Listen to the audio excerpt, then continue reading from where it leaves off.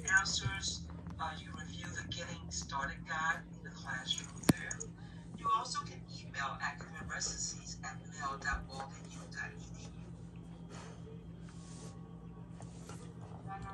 This is the end of the cohort socialization. So we still have six minutes before we go to our next session to see if you have any questions.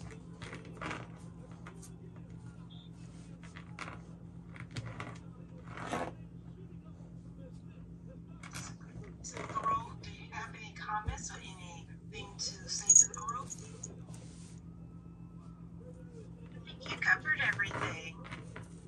I think, um, yeah, as we meet uh, together, we will certainly uh, be able to network more, get to know more about each other um, in the sessions that um,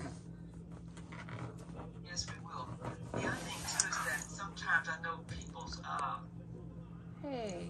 internet may be slow, and so to improve bandwidth, you